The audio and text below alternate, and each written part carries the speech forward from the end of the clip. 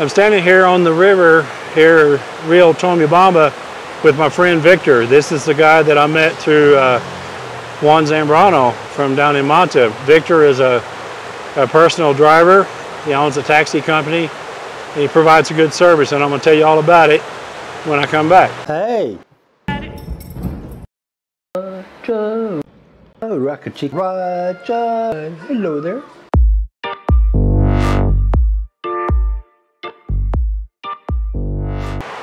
Okay, so I want to just take this moment to say thank you for you know giving me this time to to uh, to let me interview you. A lot of people are very shy about being interviewed for YouTube, and mm -hmm. I can understand that.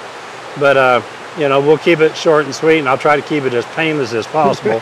so, sure. but I met you through Juan Zambrano, and okay. everybody knows about Juan Zambrano. He's a driver in Manta. Mm -hmm. He has a network of drivers throughout Ecuador that provides the same services that he does. If he can't do it, you can do it. And that's how I came about meeting mm -hmm. you. Juan brought me to Guayaquil, and then uh, I got you, through him, I got you to meet up with me the next day, and you took me around and showed me all things Cuenca. And then when it's time for me to go back to Manta, you're going to drive me to Guayaquil. Juan's yes. going to pick me up in Guayaquil and get me home. So, how did all this start for you? What did you? I know you told me earlier that you you mm-hmm. came here from New York City. Take it from there. How did you get this started? Okay, I lived in New York for almost 11 years and came back to Ecuador, Cuenca specifically, back in 2011. And I bought a taxi and working in my taxi, I met a couple from the U.S. and they were actually the ones that got me into this job back in 2011. Okay, so then, but so, but you told me earlier about this process that you had to go through to qualify to buy a taxi. Yes, actually, yeah. it could be tedious uh, sometimes. Uh, in my case, I had to make a cash deal for my taxi and the medallion. The medallion we call it in New York. And here in Ecuador, it's called, in Cuenca, at least it's called puesto, where you buy the taxi and the medallion that enables you to, to drive a taxi. So that's like a license? A license, exactly. So you're saying medallion. Like in New York. Right. Yeah, okay. Yeah. All right. That gives you the rights to be a taxi driver exactly. in this municipality. Yeah, and okay. we are all regulated here by the municipality of the city of Cuenca. Okay, and then I think you told me also that nobody can just come in here and buy a medallion and be a taxi driver. Somebody has to leave the system. Yes. Is that, that right? Yeah. That's how it is right now because, uh, again, the municipality controls here with what it is with the, with the taxi transportation yeah. public transportation. So they don't want to increase the number of taxi members. Somebody has to either sell you the, the license yeah. or retire or quit, and then that way you can buy from that person.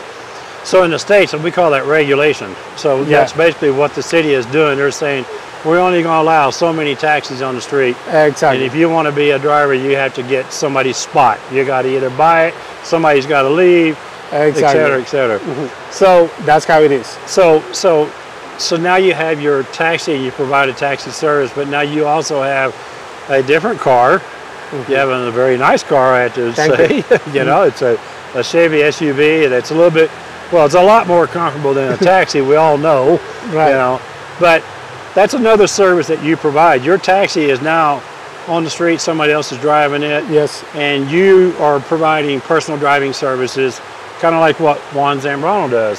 So when did you start doing that after you got your taxi? When did you start providing personal driving services? Maybe maybe around a year later. Okay. A year after that, uh, again, this couple, this uh, U.S. expat couple that I met in Cuenca, they told me to go and make these business cards. Yeah. And then they would go out to gringo gatherings in Cuenca and they were gonna give my business card to their friends. Okay. And so little by little I started elaborating what I can do, what I can help with, things that expat needs here in the city. Yeah. And so I started naming those things in the in the business card. So that's just like good old word of mouth advertising. And that's how Yes. it all started. It's cascaded from there. So give me, give me some examples of some of the rides and some of the services that you've had to do. Is there anything that's really stands out that you don't ever want to do again? Or, I mean, have you met some weird people or what? I mean, in this like kind of business, in this kind of, kind of business, you meet you meet all kinds of people. You know, I've been in situations where I've been asked where if he, I can get weed, for example. Weed. What Yeah. about prostitution? You that too, about that, that, too, yeah, that too. So it's been it's been you know a few situations where I've been asked about that. Yeah. So Yeah. I guess you know it's, it's part of the job. You know, people are curious. Yeah. They want to know, you know, if it is for real, what they read online, you Sure. know, they read on books. Yeah. So And so, of course, you charge for this, you Yeah. know, and uh, is it okay for me to tell you how much you charge? Yes, of course. Okay. Yeah. Uh, it's my understanding you charge $10 an hour? Yes, in the inner city of Cuenca. Inner city, okay. yeah, inner city. of Cuenca. Okay, which is very reasonable, you know. Uh, Sure. As far as, you know, how far away would you drive somebody? What What if For somebody that, wants for to go that to fee, Quito? for that fee, for the ten dollars an hour, I even go to, for example, the national park, Cajas. Okay. And, you know, I just recently, actually last week, I took two U.S. Uh, gentlemen Yeah. for fishing. Yeah. And then I even go to the other side of the city, which is going east to little towns outside Cuenca, like uh, Chordeleg, Gualaceo, Sigsig, and San Bartolome, places Yeah. like that. Yeah. Going south also, even uh, if I have to go to the waterfall in Giron, uh, Okay. there's a nice place there, the, the waterfall. So it's, it's for the same fee. What is the different fees is mainly if I had to drive to the airport in Quito Yeah. or Guayaquil or places like the beach in Manta and Salinas. It's a long drive. Yeah, Yes. that, yeah, yeah, those are different fees. That's understandable. Yeah. Yeah. And and is any of that negotiable, or is- that? I mean, you you know Yeah, what you got to charge, and I've been Yeah. also helping people in terms of getting driver license, getting cedulas. Okay. And for that, I, I charge uh, like a package, okay, like a yeah, package, not the ten dollar regular an hour. Got it. uh, you know, the ten dollars an hour, but uh, as a package. Yeah. yeah. And so there's even you know sometimes there's room for negotiation. Okay. All right. Uh, but you got to. You know what you have to charge, and Yeah. you can't drive that car for free. Exactly, Insurance is not free. Gas is not free. Yeah. No, that's another thing, you know, that uh, in Ecuador insurance is not car insurance is not mandatory. Oh, that's right. yeah, every yeah. car comes with liability, but and then you gotta go out and get your own insurance. In my case, I got my two SUV insurance. Okay, so both Yeah. your cars are insured. Yeah. That's good to know. Well, all right, well, I think that's probably about it. I, I'm to put all your information in the description below.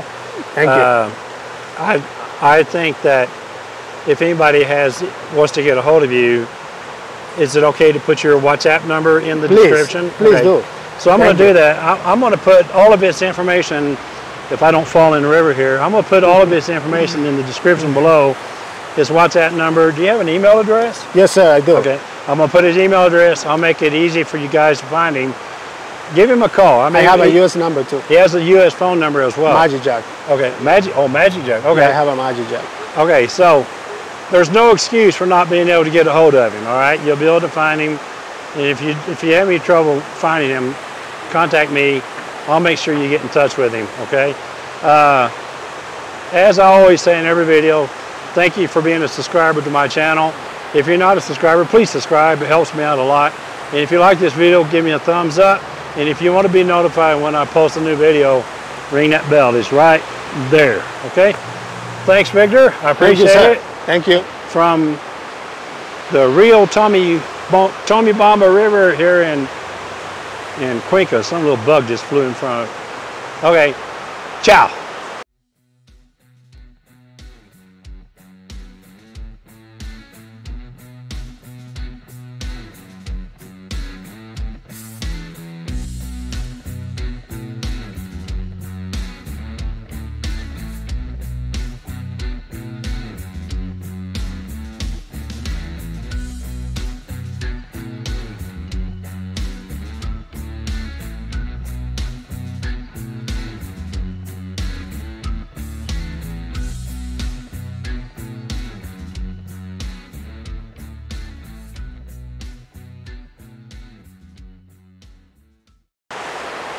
Perfect.